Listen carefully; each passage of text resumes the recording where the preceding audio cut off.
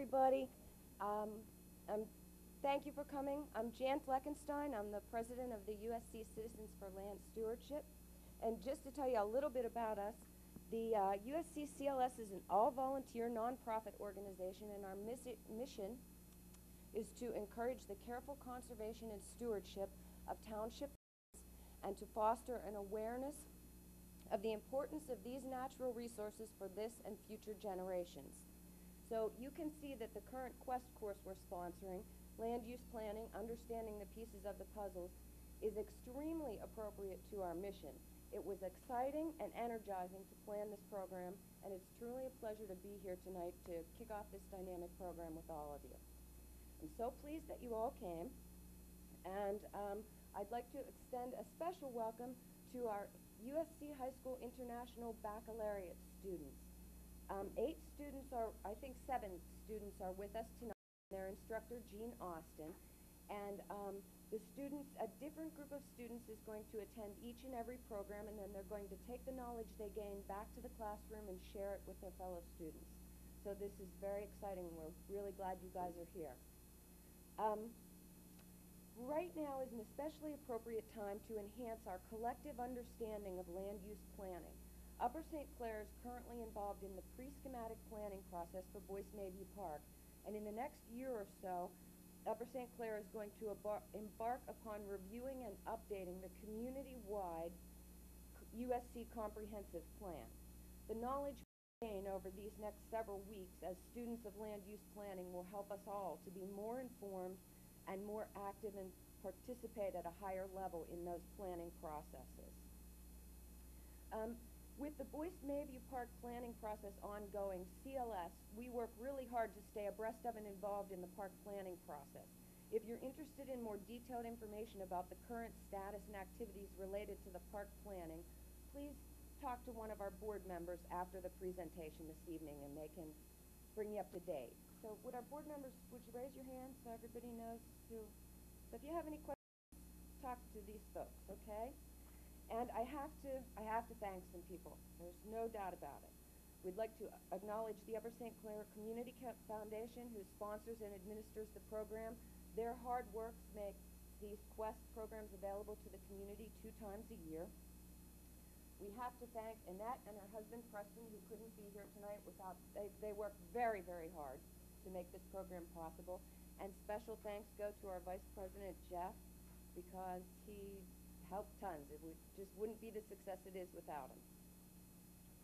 And um, with that, I'm going to introduce our speaker for the evening. We have with us tonight an expert in the field of community planning. We are deeply grateful to Mr. Jim Pashek for volunteering his time to speak to us tonight. Jim earned a Bachelor of Science degree in Landscape Architecture from Penn State University and an MBA from the University of Pittsburgh. Jim is the president of Pashek Associates, the landscape architecture and community planning consulting firm he founded in 1986. Pashek, Pashek Associates is located here in Pittsburgh and provides a variety of services including site design, park and recreation planning, meeting facilitation, GIS mapping, comprehensive and strategic planning, and the development of land management tools. Jim and his principals in the firm have established the Pashek, Lonnet, and Burkle said, I hope, I hope I said that right, scholarship in landscape architecture at Penn State University for undergraduate and graduate students who have demonstrated an interest in environmental issue. Pashek Associates' guiding philosophy concentrates on sensitivity to the environment and awareness of our collective history. And Jim and his principals and staff are committed to engaging stakeholders in being good stewards of the land and improving the quality of life in our communities. Please welcome Mr. Jim Pashek.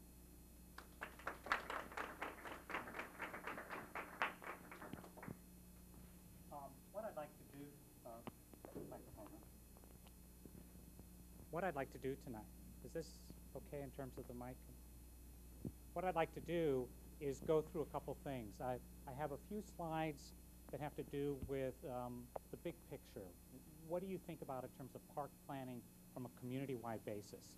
So I'd like to touch on that first because I think without that big picture and that vision, you really can't be looking at individual park master plans. Um, because I think you learn by doing, I'd like to stop after a few slides and just kind of go through a brainstorming or visioning session so you get kind of the flavor of how that's done as part of setting that vision for your community.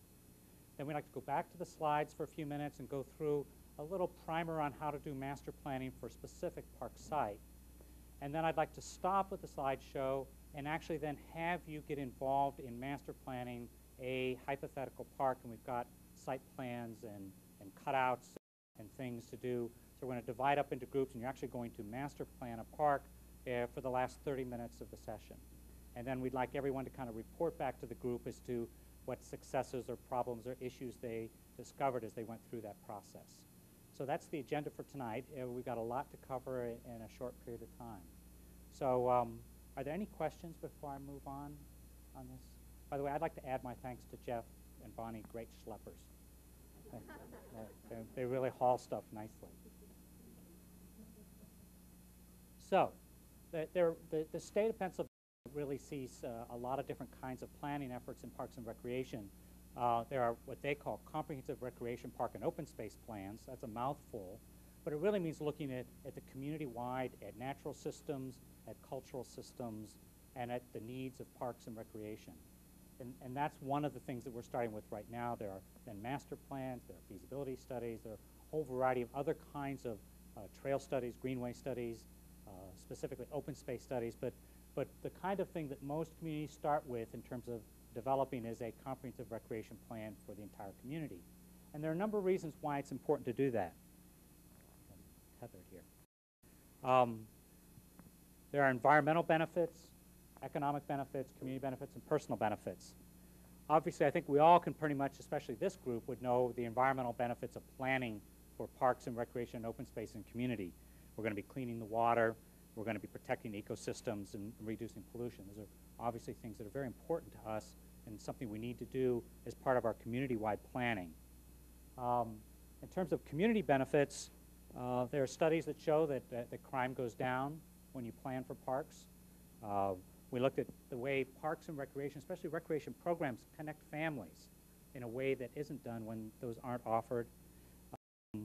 Um, and we look at, at things like supporting youth and offering lifelines to the elderly. They're all really strong community benefits. When you say, um, I live in a community, these are parts of what uh, defines a community. Uh, there are obviously some personal benefits to parks and recreation. There's physical fitness benefits. There's less stress. Um, it eliminates boredom. Those are some, but the thing that probably gets the most play lately has to do with economic benefits. Most people think, well, parks and recreation are a luxury. You know, if we can afford them, let's do them. And, uh, and, and what we're finding is more and more research is being done is that there are actually some real strong economic benefits to developing plans and planning for parks and open space and recreation. Uh, oftentimes, really great parks uh, increase tourism. Anyone who goes through Somerset and rides on the trail, the Ohiopyle Trail or something, sees the economic benefits of, of all the businesses associated with that trail. There's business retention. You go through the airport, there are posters by companies wanting to attract young people to their business. They don't show pictures of this poor guy sitting for 12 hours before a computer screen. They show a mountain biker. And they say, come to our company and enjoy where we live. And so even businesses are starting to understand the, the connection between quality of life and seeking out quality employees. And so there's just a tremendous business event that way. There's revenue generation. There's a lot of other economic benefits. This has been a hard sell. We're, we're finally getting um, politicians to start to understand the economic benefits of park planning. Um, I've been in meetings where a politician will say the only good park is an industrial park. And I think we're slowly wearing them down and getting them to understand that the quality of life is really a very important issue. I know I'm speaking to the choir here. I know you all believe in that anyway. So as part of this big planning, we, it's important to look at trends. Um, we all hear that we need this or we need that, but we, we need to look at trends to see what's going to be emerging because we're planning for 10 and 20 years in advance. So it's not helpful to figure out what it is we're planning for next year or two years. We need to really be projecting, and part of this planning for the entire community involves looking at trends. This happens to be the trends participation rates, the highest participation rates of, of activities from 2000 to 2001, with snowboarding being number one, hockey, kayaking, rafting, scuba diving, sailing, snorkeling, and canoeing. These are the top 10. I don't see a whole lot of soccer and baseball up there, which is kind of interesting. Um, so what is this plan? This comprehensive plan really tries to answer three questions. We kind of boil it down to very simple things. Um, if we can answer the questions, where are we now, where do we want to be, and how do we get there, um, we've done a good job of planning for the future. Uh, where are we now? Let's see. To answer the question, where are we now, we really need to look at what are the facilities, the programs, the structure to provide those facilities and programs. What are they? So we look at the community background and demographics. Do we have an aging population? Do we have a young population? It makes a big difference on the programs and facilities. Um, the cultural resources, it's really, really important in the creating this sense of place in your community to make you different than any other community, to understand the cultural resources that you have in your community, the historic areas, the, the special places um, that are created in your community because that's what makes you different than the 10 other suburban communities right around you. And of course, the natural resources are terribly important. We need to know what we need to protect in terms of natural resources and what we have. But we go beyond that. We need to know how do you administer and provide park facilities, programs. Uh, are the programs are something that the Upper St. Clair municipality should be providing? Or should programs be provided by an organization like this, nonprofit groups? Should there be partnerships with community college or other to provide services? How can we bring together a variety of resources in order to provide and meet the needs of, of community? Um, so we look at part the structures of recreation, we look at the facilities. Community-wide plan understands what all facilities there are, whether they're safe, whether they're not safe, are they up to date, the facilities, are the playgrounds meeting ASTM standards, those kinds of things. So that starts to give a baseline of where we are now. We now have a good understanding of, of where we are. Now we got to figure out, well, that's fine, but is this what we really want? It may be exactly what we want. We don't need to spend one more dollar. We're perfect. I haven't run into a community like that yet, but we need to find out where do we want to go. So the second question is where do we want to be? And this is the public participation process. And I know that you've been through this in great length and detail with the, the Mayview site, a, a, really wonderful process, and it's the kind of process we're talking about. And, uh, and the state looks at a whole variety of venues because oftentimes, um, in other than the Mayview site, we'll have public meetings and six people will show up. Uh, we need to get as many venues or opportunities for public input as possible. So we work hard on each of our projects. So we have public meetings, we have study group meetings with concerned and interested citizens, we have key person interviews. We go around the community to interview people that might not come to the public meetings or be part of the study group. Oftentimes we'll do a citizen survey to get the people who might not come out to a meeting but might want to have a say on what they need. And then we'll, we'll still feel like we've missed somebody. We may not have not captured the elderly, so we might go to uh, an elder, a, a, senior citizens group and, and have a focus group with them. We might feel that we don't have the teens. The teens are a hard group to sort out. I mean, you guys define what the coolness factor is, and it's a moving target. So we need to figure out what's cool in the community so we can meet the needs of teens. So we oftentimes will do teen focus groups. So as we go through, we identify the key issues in that process, and we develop a vision for the community. Um, and that vision can be a story, it can be a list of, of goals, it can be an abstraction of of where we hope to be 20 years from now. But the point is, is that we want to figure out where we want to strive to in terms of that vision. And then we compare that to our baseline. So if we want an interconnecting system of trails and to protect our riparian buffers and to provide recreational opportunities, then we look and see if the baseline is, are those in place now? And if not, how can we achieve that?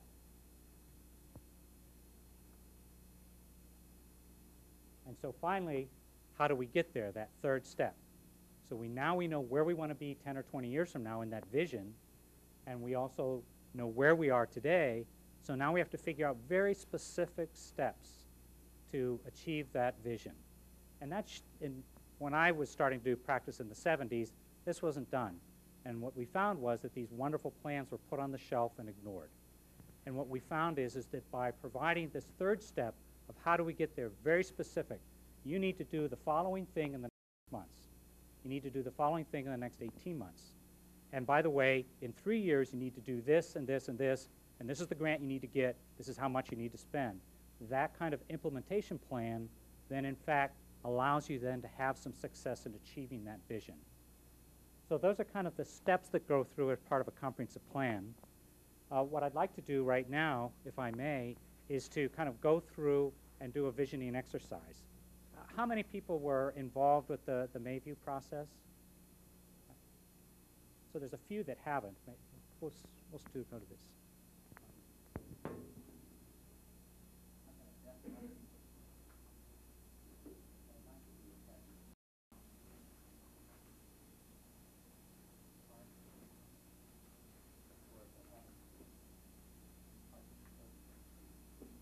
What I'd like to do, what I'd like you to do, and you have a piece of paper anyway, anybody have a, does not have a pencil? I have lots of, uh,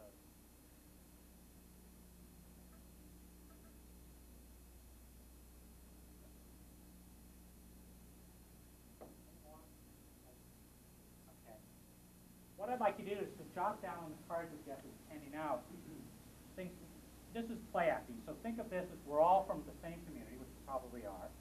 Um, but let's, let's talk about Upper St. Clair, and what you would like to have in terms of parks and recreation open space in St. Clair. So the goal for now is for you to identify one or two or three great things that you like about the parks, the recreation program, the open space in this community. Two or three things you think could be improved in the community, things you wish would be better than they are now, or things that you wish we had that we don't have right now. Something they have in Ohio that you wish we had here. Something that you think that we are missing the point on and we should be doing. And what I'm going to do is I'm going to go around and have each one of you give me one item in turn, and we'll, we'll develop them on a list. So just jot on the card there a couple of things that you either like about parks, facilities, recreation programming, open space, greenways, natural areas, or things that you think need improved. So just jot those down, and I'll explain why we do this.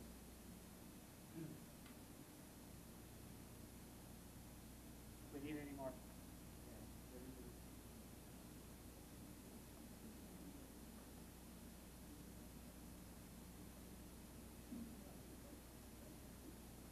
The reason people, I'm gonna talk, this is called the nominal group technique, it's a participatory process. The reason we have you jot them down on cards are, are, are really severalfold. One, we hope by you jotting them down on a card, you're gonna be a little more succinct and precise, so that when you present your idea, you're not sitting there and giving a speech, but hopefully you will do something and read off the card. Secondly, for those people that are uncomfortable in public speaking, and many people that come to these meetings back and never speak, and those are the people we want to find out about. And we find that if you have it written down on a card, it's a little bit easier to say, you know, I really like blank. And so it gives people who are a little bit shy about public speaking the opportunity to be able to do that. So those are some of the reasons why we go around and do that. The next thing is that we're gonna go around one by one, we're gonna ask you to give me one item. What that does is that it ensures that everyone in the room participates in this process, which is important. And, uh, it also, we control the speech making. So to any of you that have been to public meetings have heard the system getting up and giving speeches, and we're able to control that and get as much information as possible. So I'd like to just go around quickly, and then we're gonna get back to the slideshow. So Jeff, Yeah, give me one thing. um, I, I like private, uh, a little out of the way, And in terms of that, there are an action that you want associated with that? I mean, is it preserved, or, or there are some that you specifically like, or? Uh, yeah, probably different planning, yes, reserved there, sort of, uh, private. Please. I like natural areas. Natural. Are you saying that we have enough, or that we need more, Well, or? I'm doesn't matter, make it up. Uh, doesn't matter, it's a dog game anyway. Yeah, okay. We would like to deserve more. This is the right group to say that in.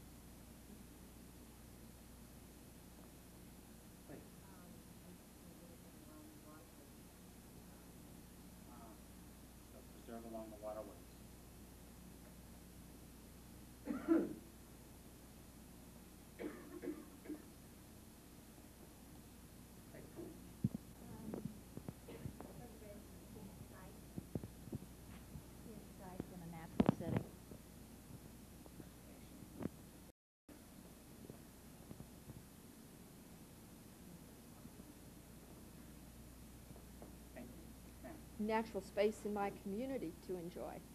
what was the first word? Natural. Natural spaces.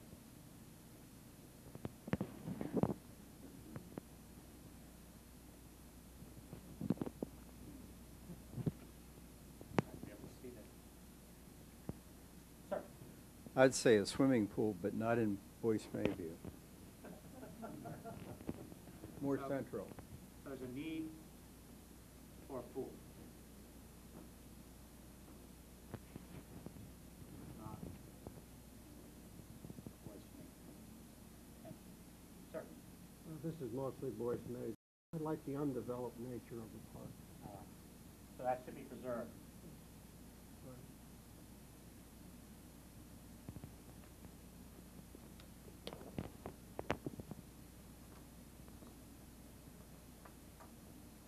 Um, This re- relates to Boyce Mayview also. Um, Having um, a station or an area where you can go that has um, pictures of identifying trees, plants, animals, whatever. So when you take, um, you know, even just for adults, but also when you take groups of children along, um, you know, it's an easy way to um, play a game or help identify what you're looking at.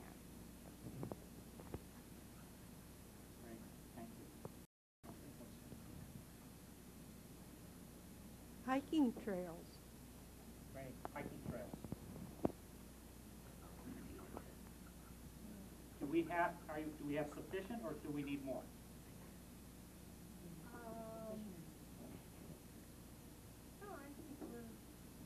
We have good ones and we should preserve them. Right. Thank you. Yeah. Mine was an improvement. I'd like to see us improve our uh, walking access to locations in the community. Uh, So more walkable community. Mhm. Sir?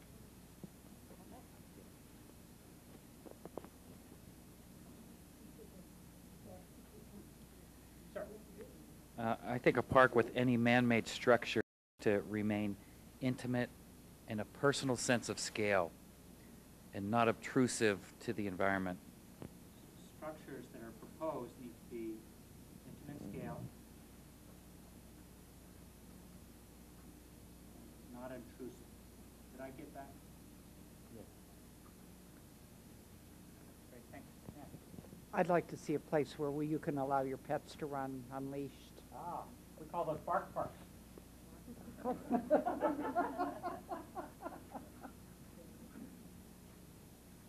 Thank you. Ma'am.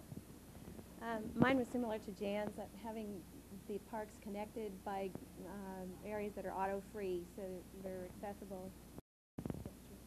That's actually kind of a more detailed, parks that are connected.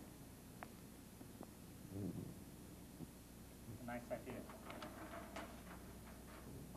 Fine. Um, I was dittoing all those, but, um, I would like some historical integrity to the community and, uh, for that to be preserved. And, and that's kind of a broad idea. What, can you give me some more specifics on how one uh, maintains the historical integrity? Um, preservation of both natural areas Um. and, um, historic structures. Great, thank you. Please. Sir. Um, mine was touched upon by a couple people, but, uh, maybe just to expand upon the, having, um, greenways, walkways, and bikeways throughout the community, and, um, also I, you know, kind of bothers me almost every day when I try running or walking or taking my dogs out, just having sidewalks that, uh, there are not too many in the community, and, uh, it's tough to get anywhere without running into traffic. Uh, community gardens.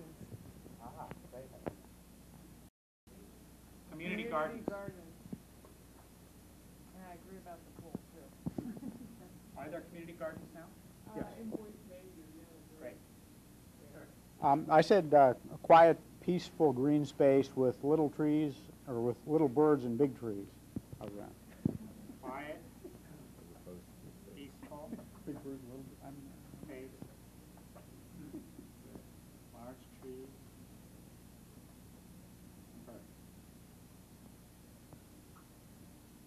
Habitat variety.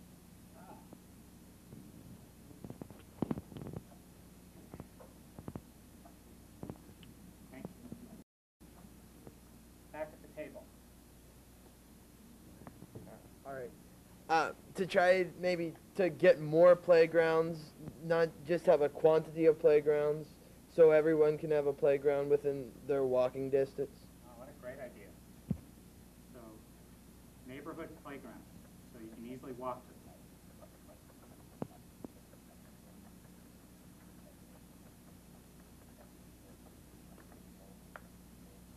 Thank you. Um, I, I don't know if this was said, but there aren't many sidewalks to get to different places. We mentioned that here, so you, you see the need from a walkability issue. Yeah. Okay.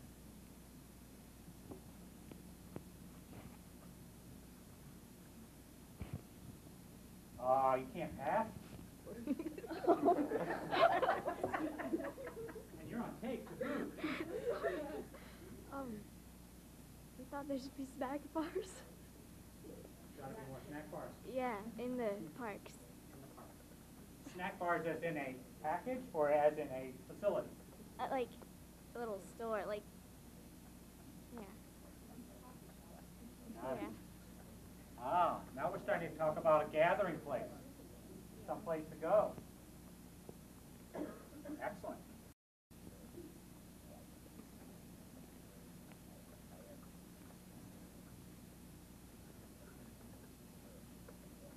That's very important. Okay. Um, I think it's good we have a nice variety of different kinds of plants and animals. Even though it seems like there's only white-tailed deer, there's a lot of different, you know, animals There's around. probably white-tailed deer down Yeah. there. So variety of, so we should be encouraging a variety.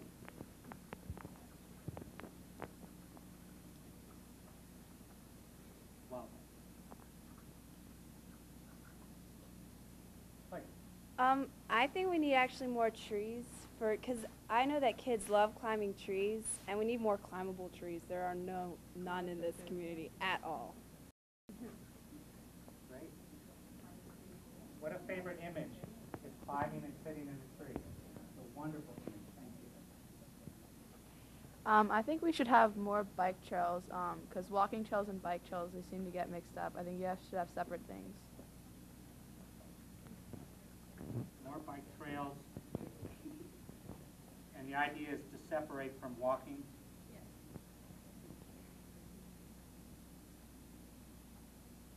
Thank you.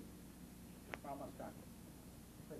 Um, I think we should have like picnic areas in the park so you can like bring your own lunch or whatever and just sit in like a nice space to eat your whatever you brought. Great, thank you. I think we should have a unique tree planting so somebody can appreciate what our work 100 years from now. Wonderful. Thank you. So just a note about what went on. I mean, you guys all behaved. You didn't even challenge me. Um, What we would do is if someone wanted to try and give two or three because they thought they were so important, I would probably cut them off politely.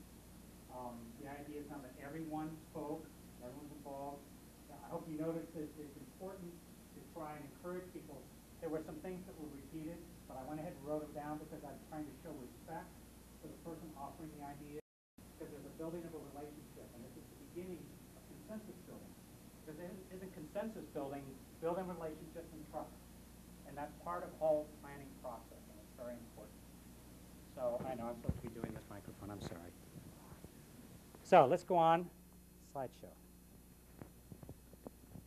So now we have this vision. We've taken all of these wonderful ideas and we've gone through and done a whole variety of public processes to come up with um, a vision of what the perfect park system and natural systems and cultural systems are for Upper St. Clair. So now we, we have, we want to do a master plan for a specific part. And you've, you've all been through this, so this is probably old hat for many of you that have been involved with Boyce May.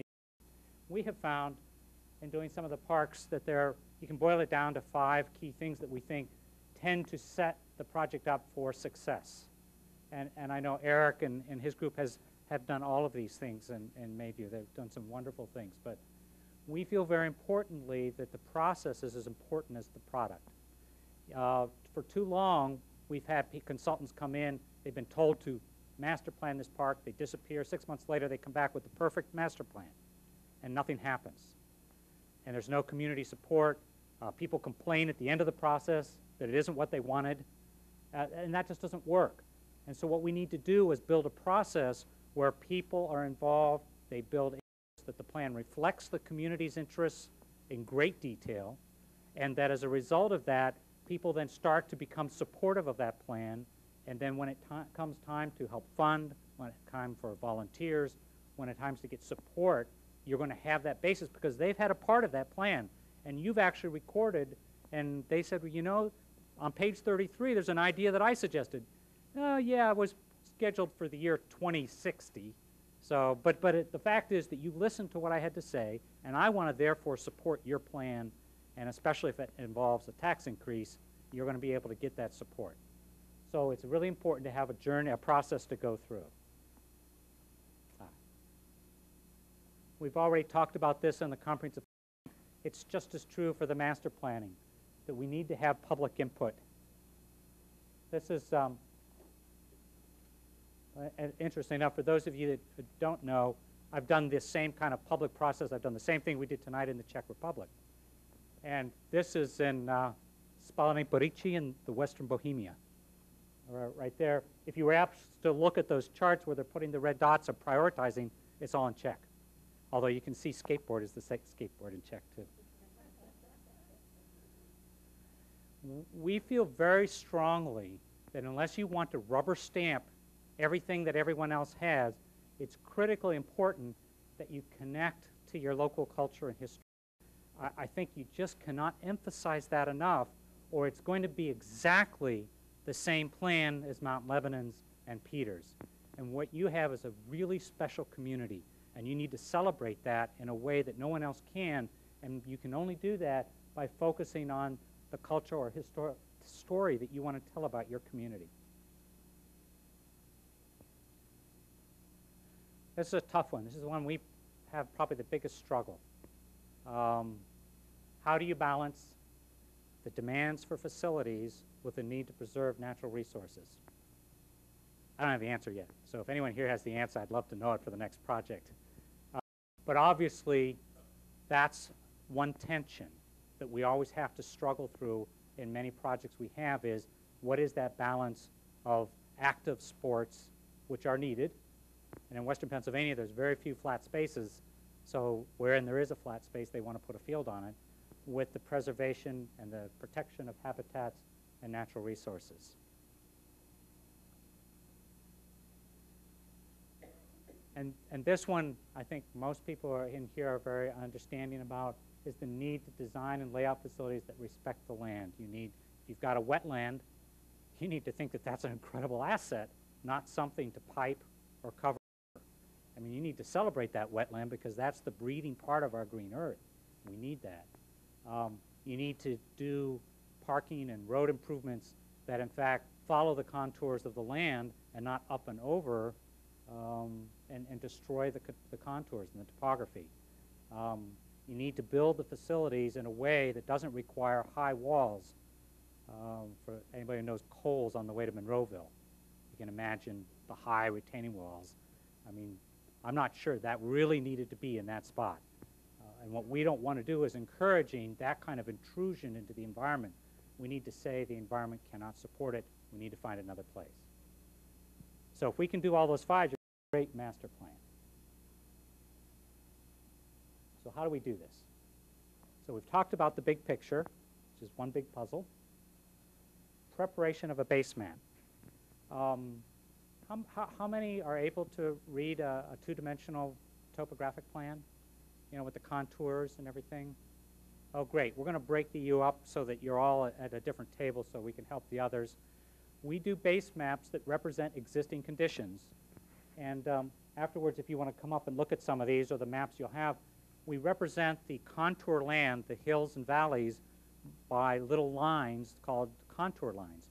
The closer the contour lines get, the steeper it's represented. So as on these areas where the contour lines get closer, that's a steep area and you want to stay away from that area.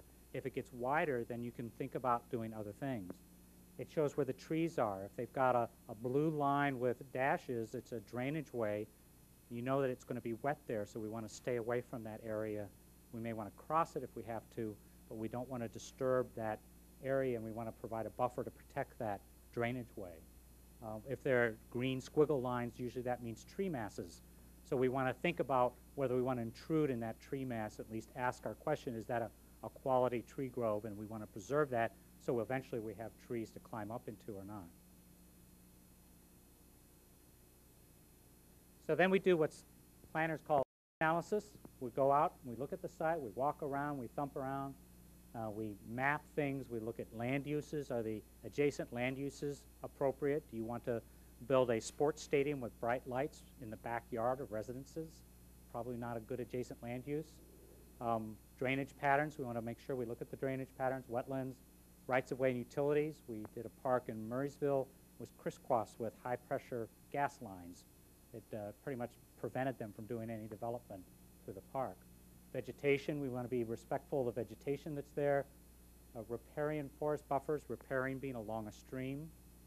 Uh, existing use patterns, steep slopes, water bodies, floodplain. You can see those. Soils are very important. We need to look at the soils because soils will determine the carrying capacity of the land. So if the soils are clay soils, which are common in this area, that's going to be an issue in terms of development.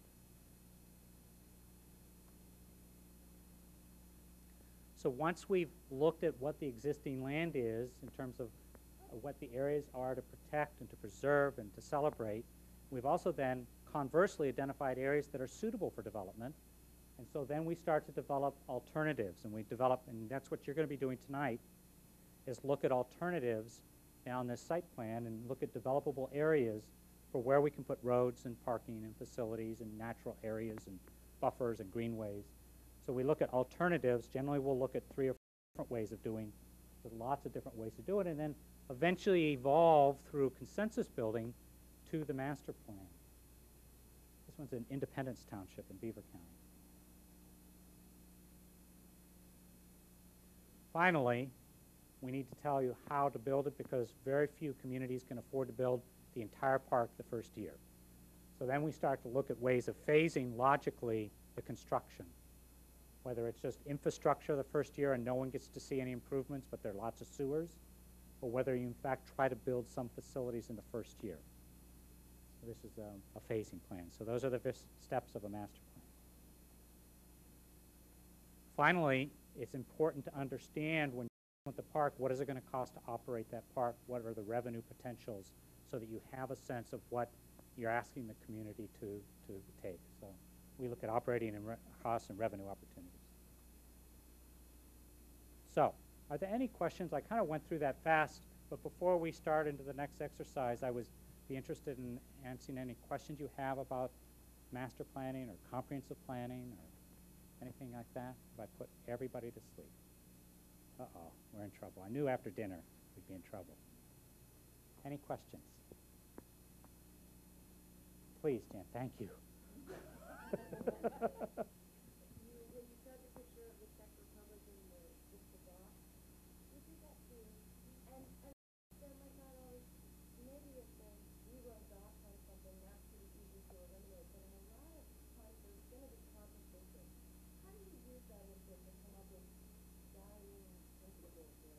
Now, that's a, a great question. First of all, the ones that get no dots are important.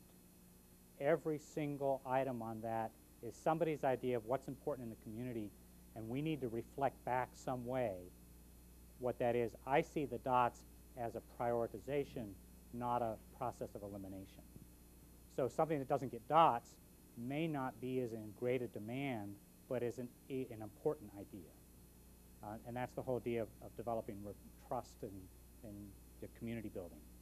Um, when you get a lot of dots, if you get ideas that may have 15 or 20 and there might be six or seven of those, then you have to sort out whether there are other planning principles or the site that might drive whether one thing starts to become more an opportunity or less of an opportunity.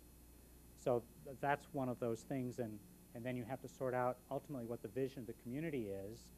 Um, and I probably am speaking out of turn, and I don't shoot me, but Uh, the sense I got was that Mayview was not intended to be a major sports complex. That's the vision of this community. So even if soccer fields got the most dots on that thing, in the context of planning for Mayview, it would be my sense that, well, that's a need, that's a need that needs to be dealt, not at this site. So then we move on and look at the next group of high, highly ranked things and see if that fits our vision for that site. So that's how I would, I would say maybe sort out some of those issues. Sir?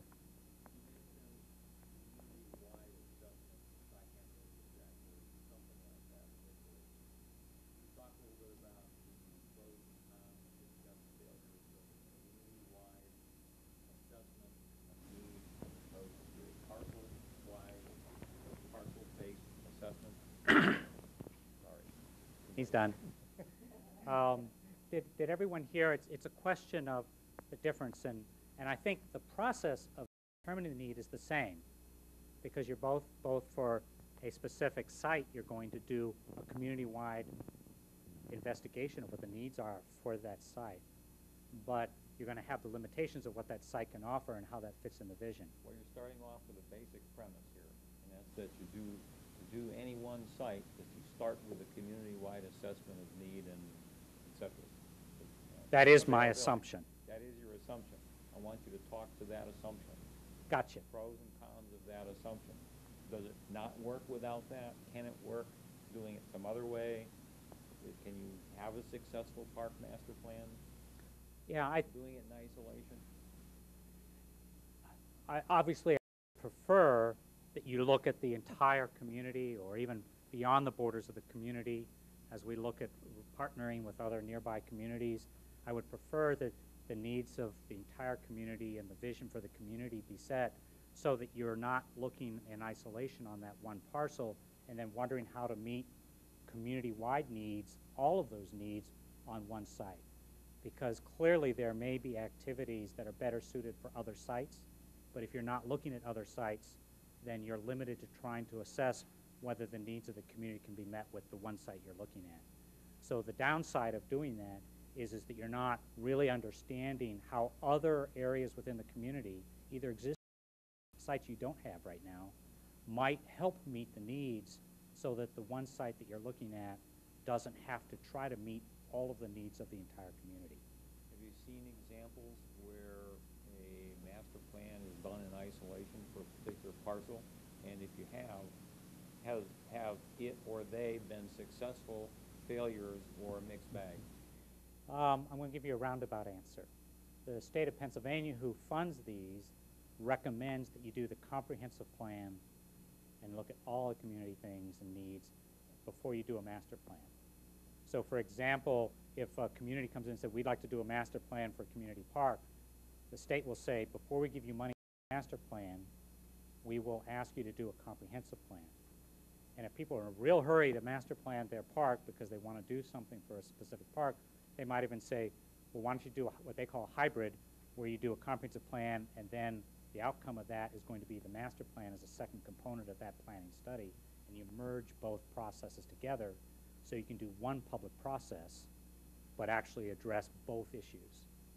So the ideal world, and the state is recognized enough that they are strongly encouraging people to do the community-wide planning first. I think there are examples where just a master plan, in fact, can be successful if the public process that's done for that master plan looks at the bigger picture issues and tries to sort out in a very cursory way whether other areas of the community can meet it without investing a lot of energy and time in that. Which state agency encourages this DCNR, Global which DCNR. funds most of the Keystone grants. And Okay, thank you. All right, um, let me tell you what you've got. We're going to ask you to break up into four tables, and we're going to break up the students. We need a couple students at each table, and, uh, and we need a, some people that can read maps at each of the tables. And you're going to have a number of things. Um, what I'd like to do is have you, this is the, the, the plan, this is a park, a site for a park that you have on, on the tables. So you can see a number of things. We've gone ahead and done the site analysis. So we've identified where steep slopes are, where poor soils are, where tree masses are, and we've then identified developable areas that are remaining. So we've tried to kind of give you that sense. So we've done the site analysis. So now you're ready to say, where do I put facilities on this park? And I'm hoping that you won't put too many facilities on the steep slopes or the wet slopes or the, the tree masses, but that's also you, up to you to do. You can put your wall on and just go right ahead. Um, we have programs at each table, and what I've done is I've, there are two different programs. There's one that's a kind of a more of a natural environmental focused program. I've put that at two tables. And then I've put one that's more active park, sports park kind of program. Um, and two tables have this. So your, two of the tables are going to have similar program. They're, they're two different programs. So it'll be interesting as you report back as to the kinds of facilities and where you put them and how you did this. Um, what I've done is provided you with cartoons of each of a variety of facilities for you to put and tape onto the map. So what we're going to have you do are scissors and tape at each of these. So you're going to cut these out and put them down wherever you think it's appropriate. A few key things when you, you start to do this. If you try to do a sports field, I'd like you to put 200 foot buffer around each field. Now, these scale, should have checked. I think the scale is 100 scale. Yes. The scale is one inch equals 100 feet. So you need, whenever you put a cut a field out, whether it's a soccer field or a baseball field, you need two inches around it before you can put the next facility. So give yourself two inch buffer around every facility. And that, that's real in terms of, of room for drainage ways or stormwater detention or, or other issues, parking and those kinds of things. Um, you'll see that uh, fields, the long, if you think about it, I hope, yes, north is to the top of the page. If you're going to put a soccer field, you need to put the soccer field so that north is going this way. So that when the sun goes across the field, the goalie in the soccer or lacrosse does not have to look into the sun. Baseball, ideally, you would like to have a line from home plate through second base pointed in a northeasterly direction. And with baseball, somebody's going to get hit probably because of the sun. But the thinking is, is that you don't want the batter or the pitcher to be blinded by the sun. The first baseman and the third baseman are blinded, but it depends on what day it is. But um, the ideal orientation is to have generally this pointed in a northerly direction. If you have to, you can put it in a southerly direction, but ideally it was north. The idea is not to have the line from home plate through second going either east or west. We've also, you'll notice a couple other things. We've just shown you what a 100-foot buffer is if you find a drainage way and you would like to protect that. Here is a 100-foot buffer. Um, we've got playgrounds. We've got other kinds of activities to scale. We'd like you to just cut them out and put them in as, as, as you wish. When you want to put a road on, you can just take one of the markers and just draw the road on wherever you want to link things. The road becomes the kind of the frame, the skeleton of the park. So if you think about where the roads should go, you probably want to minimize the amount of roads you have, but yet have access to all the facilities. So think about maybe first where a road might go and where you want to develop the park, and then where the facilities, and then start to figure out where you want the facilities, and come up with a rationale as to why you put the facilities where you do. And I'm hoping within each of these groups, you're discussing, yes, even arguing over what you think should go and where it should go. And I think you'll all learn from that as you do that, and I'll come around and, and, and help you with that. Uh, please.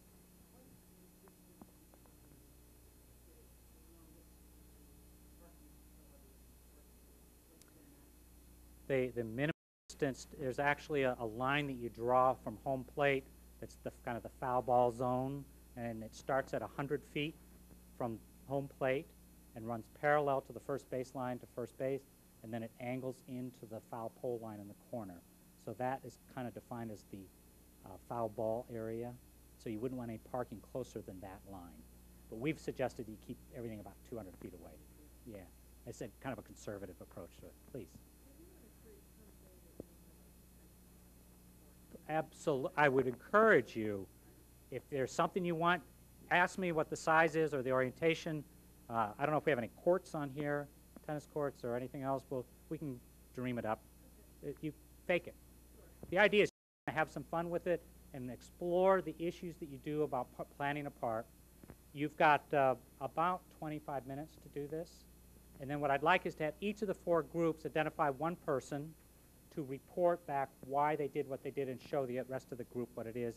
So the last 10 minutes we'll go through and, and present the ideas that you've developed. So I'm hoping that you will break up and that, that everybody will kind of go to a different table and, and uh, let's see what happens. I'll get around to each of your tables. Any other questions? Okay, we have markers and scales and everything up here. Yeah.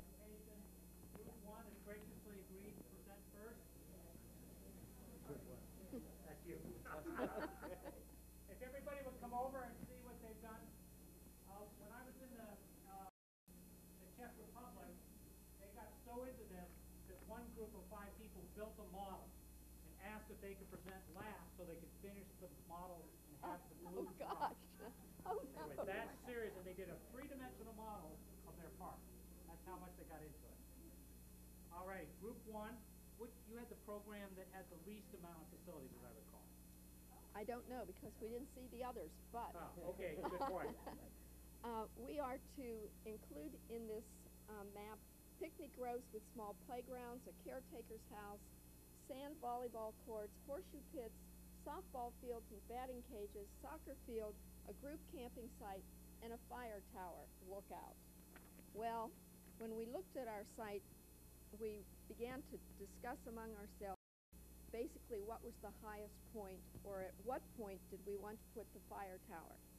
And um, we had a number of discussions. Did we want to go to the highest point or did we want to go to a central point that had some height to it, which is what we did.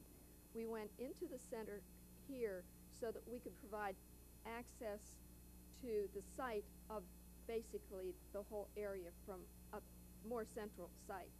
We also wanted to put the group camping site close to the fire tower because we thought that that was also an area where there was um, space to put that, but the fire tower provided something for people to do.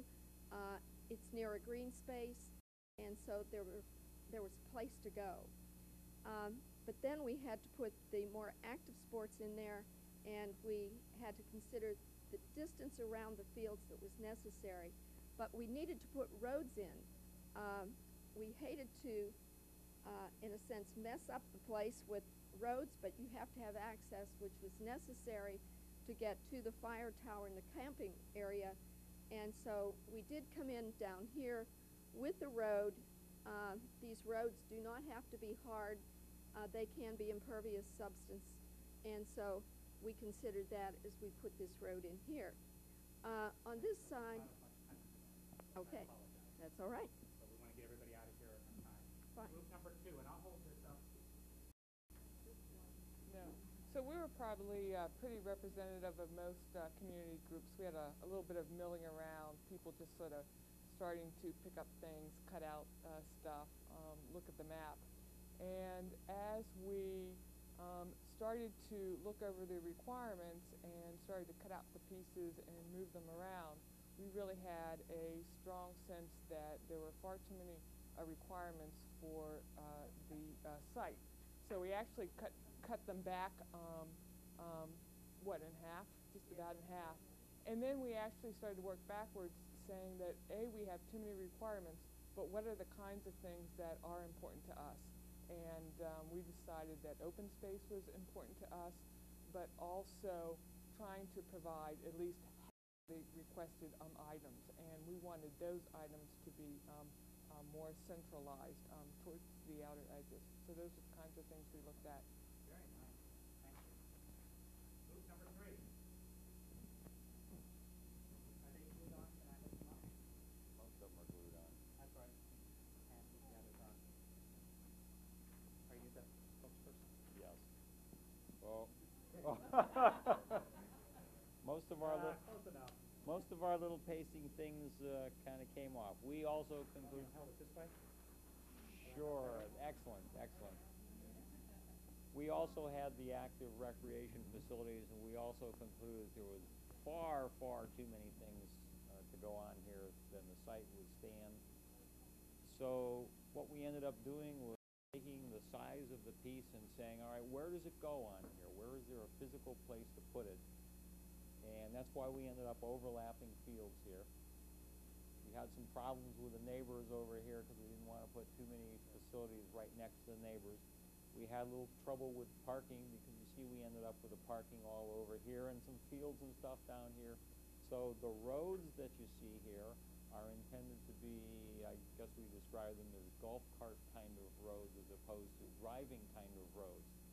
And the campground is way off here in the distance because anybody who's going to go camping can certainly hike into this place. Good. Thank you very much. Group number four. Who's going to?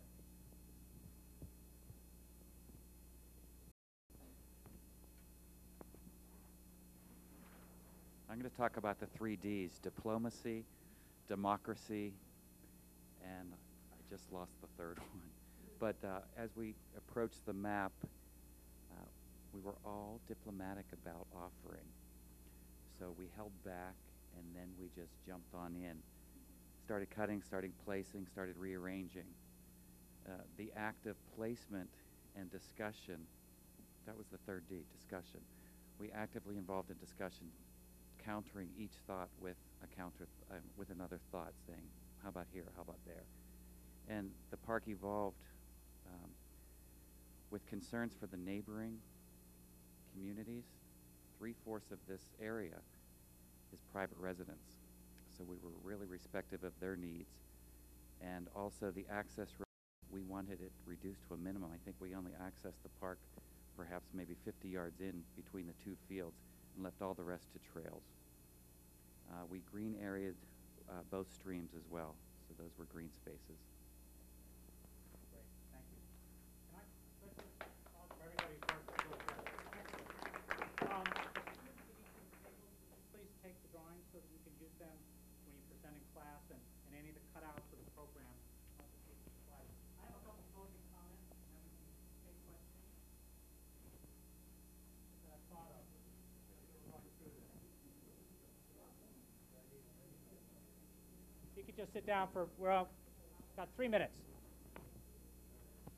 Um, it it was brought to my attention, we talked about a comprehensive recreation park and open space plan, which is totally different than a comprehensive plan. And I wanted to make a distinction for those of you before you left the room, the di- what difference between. A comprehensive plan is a community-wide vision for land use, transportation, zoning, um, usually housing, includes all the cultural features in a community. That's a, what's a comprehensive plan. What we're talking about tonight is a comprehensive recreation park and open space plan, which deals with one aspect of the broader community, which is recreation parks and open space. So I wanted to make a distinction that you went out and you said, well, we talked about a comprehensive plan. We talked about a comprehensive recreation park and open space plan. We did not talk about a comprehensive plan. I'll be glad to come back and do that some other time. Um, theming. I, I want to mention, when we do these plans, I like to think about themes. I think they adds a richness. And I brought an example of the theme.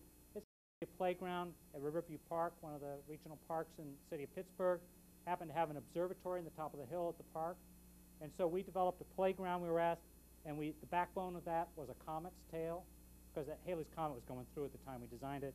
So we had a, we had a tail of a comet, This gave the structure for the playground for the older kids. The role of the, the observatory, I don't know if you know much about observatories, every observatory in the world is given an assignment. This is assignment is to measure distance between stars in certain parts of the solar system. And so we created a sun sitting area and then paths to stars with distance in light years put in the pathway uh, with stainless steel letters so you could start to learn about the distance to the stars and the role of this observatory in the big picture of, of looking at the solar system. We have a crescent moon up here with some quotes. That's theming a park, and so we think it's oftentimes adds a richness of education to what is typically a playground. Um, one last, I always like to end with a quote. And, and so if you could just think of this, um, we can't change the past, but we can learn from it and build on it. We can't control the future, but we can shape and enhance the possibilities for our children and grandchildren. And that's what you're doing tonight with this plan. So thank you very much. Any questions?